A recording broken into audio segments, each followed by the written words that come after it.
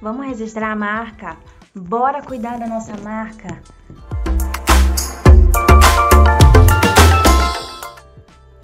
É hoje que a gente conversa sobre esse assunto, tá bom? Então, ser chegando aí, se inscreve no canal que me ajuda bastante. Curta e comente o que você quiser. Suas dúvidas estarão comigo e eu responderei todas, tá bom? O que é INPE? Instituto Nacional da Propriedade Industrial. Eu registrei minha marca porque eu sou uma artista. Eu sou o produto, então eu vi extrema necessidade de, de, de colocar isso no papel.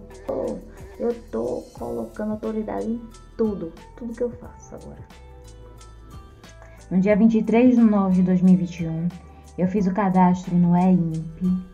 Aí depois que eu fiz o cadastro, tudo certinho, eu fiz o pagamento no mesmo dia, né, dia 23 de nove. Começou o andamento, né, do processo. Depois de um tempo, que demora. Aí no dia 13 de 10 de 2021 ainda, teve a publicação do pedido de registro para oposição, né? Ficou em aberto para se alguém, alguém no meio do mundo se pronunciar a respeito disso. Se tinha alguém usando a minha marca já e não teve, não teve, glória. Passo. Aí foi que demorou. Demora muito, gente, demora muito. Depois disso, depois que foi concluído, que fechou, aí, no dia 8 do 11 de 2022, teve o deferimento do pedido. Não, eu ainda não consegui a minha marca.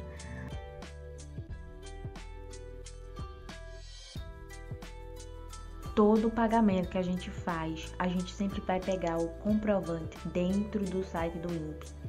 Tem um localzinho lá que a gente pega e puxa o comprovante para poder pagar. Nada vem por e-mail, gente. Nada vem por e-mail. O máximo que vem por e-mail é alguma mensagem deles avisando que ah, tá assim, teu pedido tá assado, tá? Porque você assinou um xizinho lá que queria receber informações pelo e-mail. Mas essa questão de pagamento é tudo pelo INPE. A concessão de registro foi 298. Pausa pro cafezinho, gente. Um gostosinho. No mesmo dia que houve o deferimento, apareceu para mim no meu e-mail um, uma mensagem fraudulenta. Um e-mail fraudulento. De uma pessoa dizendo que era para me pagar é, que era para me pagar R$ 1.298 para poder garantir. Assim que você vai concluir, tem outro pagamento também. Não é 1.298, não é 3.000. Cuidado. Aí no dia 29 de 11 de 2022, eu tive a minha concessão do registro. Tudo certinho. Tava lá na lista, que geralmente eles chamam de revista. Revista. Tava lá na revista. Certinho? Eu vou mostrar aqui pra vocês. Né? Minha data de vigência é dia 29 de 11 de 2032. Vou precisar pagar lá para 2032 de novo. Deixar um link, um ou dois, quem sabe três links aí na descrição do vídeo com um passo a passo como é que inicia, tá bom? Como é que paga a GRU, vou botar aqui embaixo.